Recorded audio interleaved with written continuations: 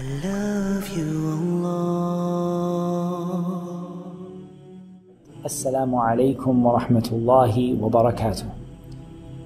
In this Ramadan reminder, insha'Allah ta'ala, we're going to speak about a beautiful hadith. The hadith of Abu Huraira radiyallahu ta'ala anhu that is narrated in Al-Bukhari and Muslim that the Messenger of Allah sallallahu alayhi wasallam said, قال الله عز وجل that Allah mighty and majestic said, كل عمل ابن آدم له إلا الصيام فإنه لي وأنا أجزي به All of the actions of the children of Adam are for them except for fasting it is for me and I alone will reward for it. This first part of the hadith it tells us that fasting has something very very special about it. And this is explained further in a narration of Al-Imam Al-Bukhari rahimahullah ta'ala in which it mentions that every deed comes with 10 like it. Every single good deed Al-Hasanatu bi ashri amthaliha it comes with 10 that are like it. Up to 700 times except for fasting.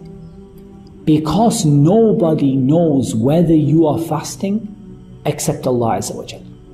You can say, I'm fasting, but nobody knows that you haven't snuck in the corner and drank some water or eaten something except Allah Azza. It is between you and Allah subhanahu wa ta'ala alone, and nobody knows it except that.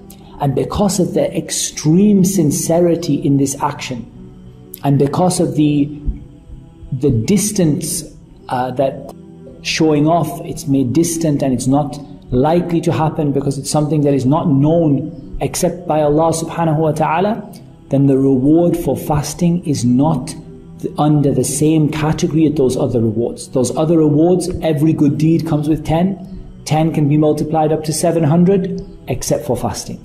And fasting is something that Allah Azza wa Jal has prepared a beautiful and a special reward for and what we should take from this short reminder is we should realize the virtue of fasting.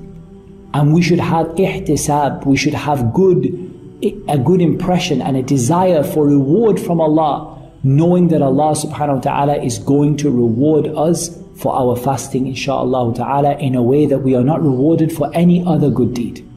So it's something to be pleased about, it's something to motivate us, to get the best quality out of our fasting possible. And in the future reminders, inshaAllah ta'ala, we will continue with this hadith and look at the other benefits of how we can perfect our fast. First of all, by realizing the virtue of the fast and by motivating ourselves to fast in the best possible way. And Allah Azza wa Jal knows best. والصلاة والسلام على نبينا محمد وعلى آله